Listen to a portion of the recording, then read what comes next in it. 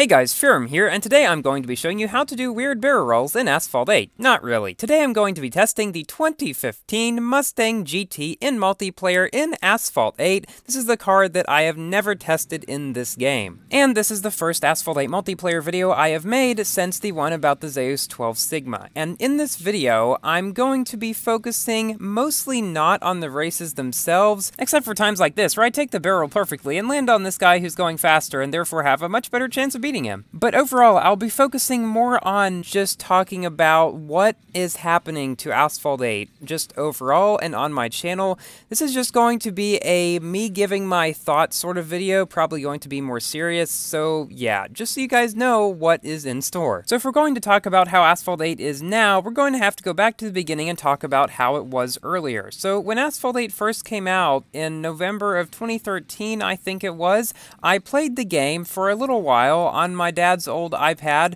and I got to season 8, I think, but I didn't really have much done in there. I had just gotten the Ferrari FXX Evolution or something like that when I decided to switch to Windows about three years ago and start playing in a less casual and more intentional manner. So it would have been early 2016 when I really started getting into this game. And I never became addicted to it like some people, but I did extremely enjoy it. I would play it so much, and it was just a game that I thoroughly enjoyed everything in.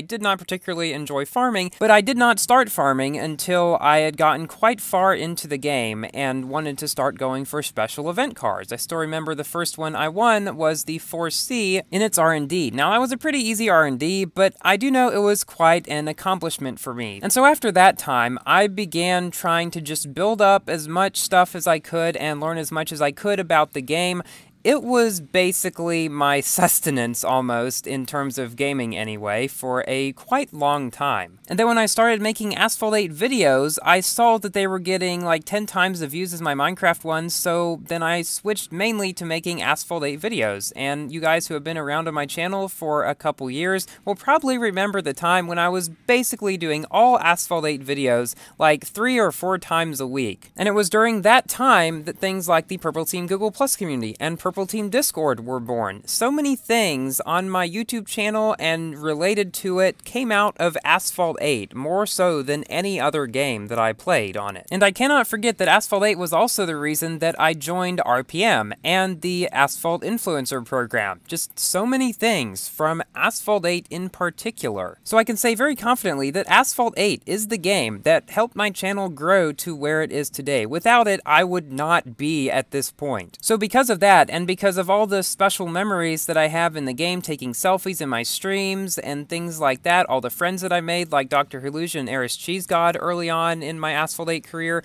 all this stuff make Asphalt 8 a very special game to me. And if anybody ever tells you that I hate Asphalt 8 because I don't play it much anymore, that's not the case. It will always hold a very special place in my heart. Throughout my time playing Asphalt 8, I've seen Multiplayer 2.0 come out, I've seen the Vulcan come to be the new king, I've seen the Apollo come to be the new king, and then I got to see it dethroned by the X2 just a couple updates later, and after that is when things started going downhill. In August of 2016, Gameloft released the 5th anniversary update to Asphalt 8, and this update, in and of itself, was perfectly fine. We got cars like the 750S, which came in a world tour, and I remember streaming that live to Asphalt's Facebook, which was pretty cool. But what came out of that update was the first real problem that came to Asphalt 8, in my opinion. Now, other people will say that Asphalt 8 started dying earlier. Some people have even said as early as like 2016.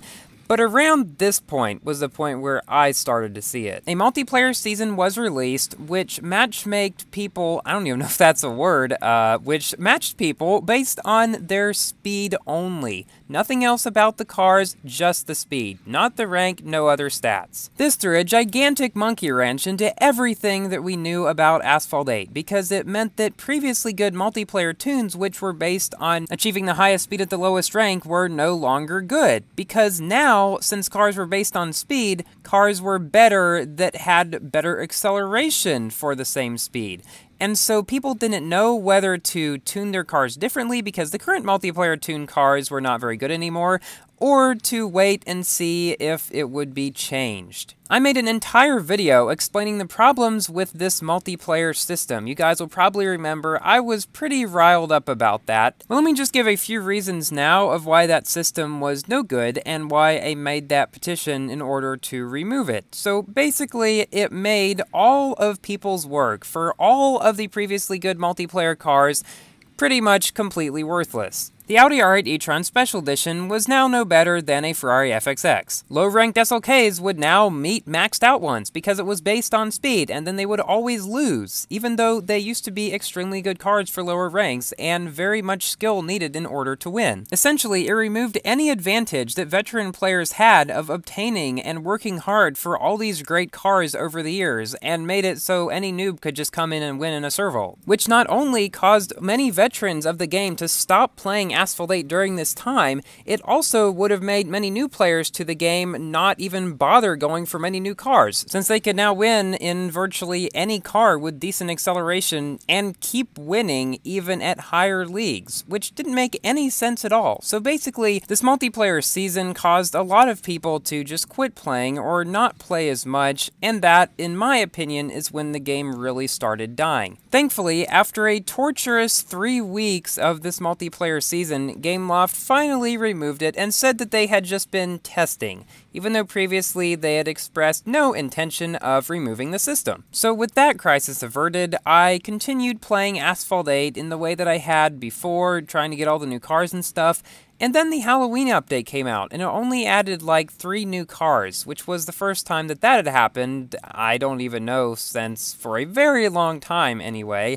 And so that was a bit of a bummer, but nothing really bad happened that update and the next one. And in fact, around Christmas that year came one of my favorite things to be added to Asphalt 8 in general, the Transylvania track, which honestly I think is my favorite track in Asphalt 8, and that is definitely one of the best things to happen to Asphalt 8 in the past, like, year. However, it was also in that Transylvania update that cars like the Centenario came out, with crazy token upgrades, and also no free upgrades in the R&D and I predicted in one of my Centenario videos that with the current direction the game was taking, it would die in 2019. In the next update, Asphalt 8 caught the flu, by which I mean the Fast Lane update. This was the update that changed the upgrade rank percentages and the ranks in general for all A-class cars, as well as some B and S-class ones. This was also the update where they made mastery races unreplayable, and also that's when they made the Pro Kit requirements like double what they were before and I saw this as the beginning of the end, so I quickly promoted a petition to revert the changes in this update. It was received with an overwhelmingly positive response, garnering well over 3,000 signatures, which made this by far the most signed petition in Asphalt 8 history,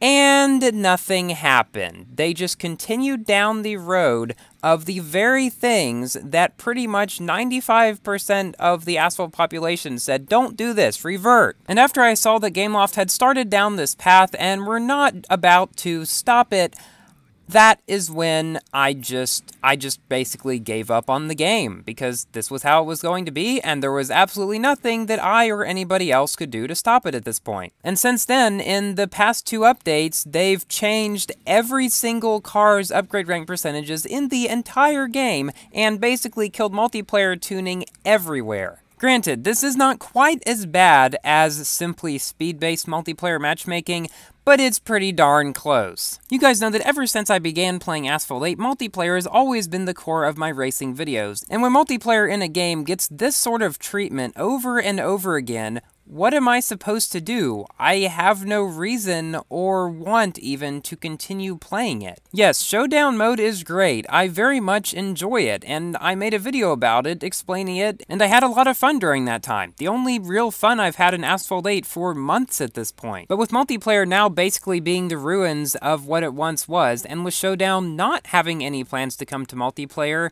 I don't really have a big desire to stay with the game. I'm going to be completely honest here. The Fastlane update basically deflated any desire that I had to continue playing Asphalt 8 regularly. That is what it was. For a while, I tried not to let it show, but since it's come to fruition at this point, I may as well just say it. So at this point, I'm not entirely sure what I'm going to do, because I really do not care to play this game much anymore, but I also know that you guys still a lot quite enjoy it. So I think I'm, for now, just going to continue doing what I'm doing, making videos of all the update videos, and who knows, maybe occasionally I'll drop in a video such as this one, testing some older car or something like that. But Asphalt 9 and Forza will still be the priority, because frankly, I enjoy them a lot more than Asphalt 8 right now. So thank you all for watching and understanding, please like the video if you've enjoyed, and comment if you have any questions. Consider subscribing for more Asphalt and Forza content, and I will see you in my next video. Goodbye.